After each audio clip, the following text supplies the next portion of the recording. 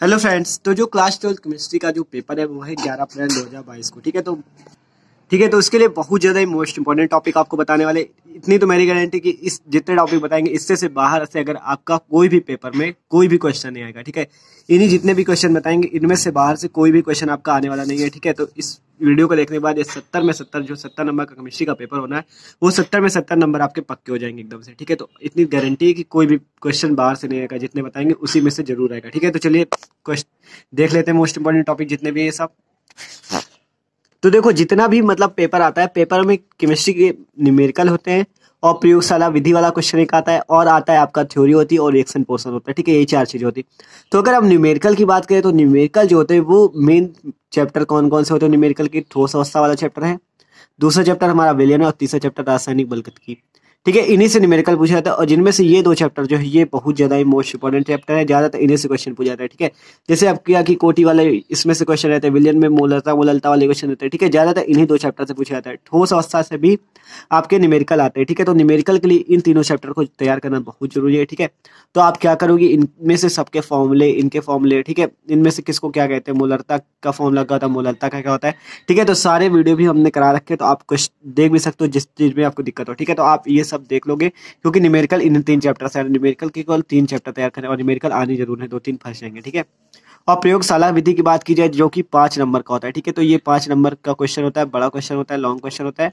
तो आपको इसे भी तैयार करना ज़रूरी है। देखो, जैसे हाइबर विधि होती है, ये बहुत ज़्यादा मोस्ट इंपॉर्टेंट है, बहुत बड़ा है, ठीक है? एन एस अमोनिया बनाने की, ठीक है? डीकन विधि है क्लोरीन बनाने की। उस्टवाइड विधि है नाइट्रिक एच एन थ्री बनाने की, ठीक है? तो ये बहुत इंपॉर्टेंट विधि है। और सल्फा डाइऑक्साइड एस ये आपकी 2021 का जो इंप्रूवमेंट एग्ज़ाम हुआ था, उसमें भी आई थी एस ओ टू बनाने की प्रयोगशाला विधि, ठीक है? तो ये भी बहुत ज़्यादा इंपॉर्टेंट है। और उधर में जैसे आपके डाईएथिल ईथर ये भी बहुत बार पूछी गई डाईएथिल ईथर और एसीटोन। डाईएथिल ईथर ज़्यादा इंपॉर्टेंट है, ठीक है? तो इसमें कौन कौन ज़्यादा इंपॉर्टेंट हैबर विधि होगी, आपकी डीकन हो गई सल्फ़र हो गई ओस्टवाल हो गई और ये डाईएथिल ईथर ये बहुत ज़्यादा ही मोस्ट इंपॉर्टेंट है, ठीक है? तो आप इनको तैयार कर लीजिएगा। इनमें से एक ना एक ज़रूर आपकी फंस जाएगी, ठीक है? पाँच नंबर आपके इसमें मिलने हैं, ठीक है?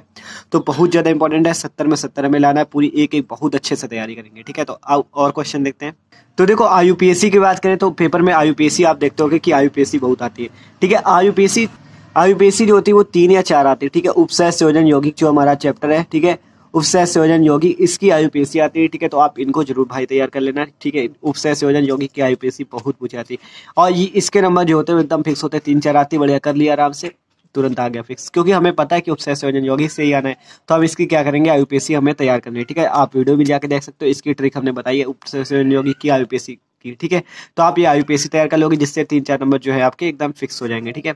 आप देखो जो मोस्ट इंपॉर्टेंट टॉपिक है वो कौन कौन सा है? जैसे पावर एल्कोहल जो है आपका, ये बहुत पूछा जाता है, ठीक है? पावर एल्कोहल कि पावर एल्कोहल क्या है, ठीक है? इसका उपयोग क्या होता है? और जैसे डीडीटी बनाया जाता है, जैसे बेंजीन से डीडीटी बनाओ, ये भी मोस्ट इंपॉर्टेंट आपका टॉपिक है, ठीक है? कॉल राउस का नियम, ये भी आप जानते हो, बहुत बार पूछा गया है, ठीक है? साठ की दोस्त हो गया आपका फ्रिंकल दोस्त हो गया। एक क्वेश्चन आता है, जैसे ए कौन कौन से दोस्त प्रदर्शित करता है? तो साठ की और फ्रिंकल दोनों, ठीक है? तो आप इन सबको तैयार कर लोगे। राहुल का नियम है आपका, ये बहुत बार पूछा गया, मूलरता हो गया मूलता हो गया, ठीक है? परासरण दाब हो गया, फैराडे के नियम हो गए, दोनों फैराडे प्रथम नियम, फैराडे का द्वितीय नियम, ठीक है? वैद्युत रासायनिक श्रेणी गुण के लक्षण पूछे जाते हैं, ठीक है?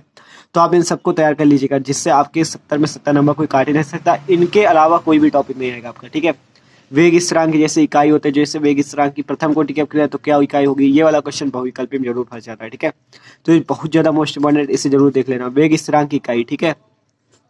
प्रथम कोटि में क्या होती है? द्वितीय कोटि में क्या होती है? शून्य कोटि में क्या होती है? ठीक है तो ये पूछा जाता है। और प्रथम कोटि की अपक्रिया के लिए व्यंजक भी पूछा जा सकता है। प्रथम कोटि कब क्या? होती क्या? ये पूछा जा सकता है। एक क्वेश्चन जैसे होता है क्लोरोफॉर्म को रंगीन बोतलों में भरकर क्यों रखा जाता है? ठीक है तो ये सारे क्वेश्चन के आंसर आपको हमारे चैनल पर मिल जाएँगे। ठीक है, आप कोई भी सर्च मार सकते हो। एक क्वेश्चन है कि क्लोरोफॉर्म को रंगीन बोतलों में भरकर क्यों रखा जाता है? ये क्वेश्चन भी बहुत इंपॉर्टेंट है। गंदले पानी वाला क्वेश्चन है। एक डेल्टा बनने का कारण क्या है? ठीक है, समुद्र में डेल्टा क्यों बनता है? ये कारण बताओ। द्रव स्नेही कोलाइड द्रव विरोधी कोलाइड ये क्या होते हैं इनके एक उदाहरण दो ये क्वेश्चन इंपॉर्टेंट है ठीक है स्वर्ण संख्या हो गया आपका गोल्ड नंबर तो जाता है हर बार पूछा जाता है ठीक है गोल्ड नंबर तो पूछा ही पूछा जाना है उसमें कोई शक नहीं है ठीक है आपकी ब्रीडिंग आर्क विधि है संक्रमण तत्व क्या होते हैं संक्रमण तत्व भी पूछा ही जाता है ठीक है तो ये क्वेश्चन इंपॉर्टेंट है लैंटेनाइड आकुंचन ये भी बहुत ज़्यादा इंपॉर्टेंट है ये भी पूछा था ब्राउनी गति और टिंडल प्रभाव ये भी आप देख सकते हो अभी वीडियो बनाया हमने भी ब्राउनी गति और टिंडल प्रभाव का बहुत ज़्यादा आसान ट्रिक से आपको समझाया तो प्लीज़ उस वीडियो को भी देख लीजिएगा, ठीक है? पेप्टिकरण वाला है पेप्टिकरण भी मोस्ट इंपॉर्टेंट टॉपिक है। अब रिएक्शंस में आते हैं। देखो, ये सारे टॉपिक जो है, इनमें से आपके ज़्यादातर टॉपिक फंसेंगे ज़रूर पेपर में। कोई ऐसा टॉपिक नहीं होगा जो आएगा ना, ठीक है? बाहर से कुछ भी नहीं आना। देखो नेम रिएक्शन की बात करें तो वुल चक्रिया बहुत ज़्यादा इंपॉर्टेंट है, कैनिजारो है हेलो फॉर्म अपक्रिया ठीक है?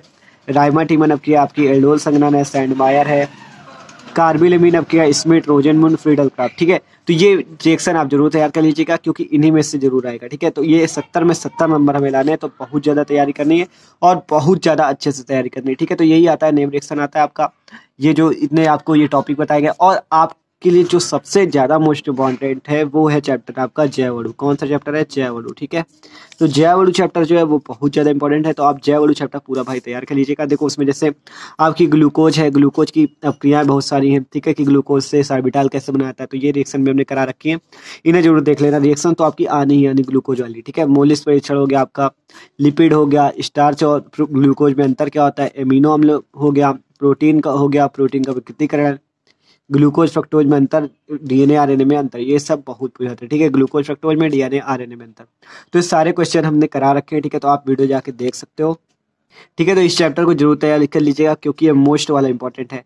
और अगर आपने जितने टॉपिक बताए, इनमें से अगर आपने कर लिया तो सत्तर में से सत्तर नंबर कोई काट ही नहीं सकता। सत्तर में उनहत्तर आपके आएँगे ही नहीं।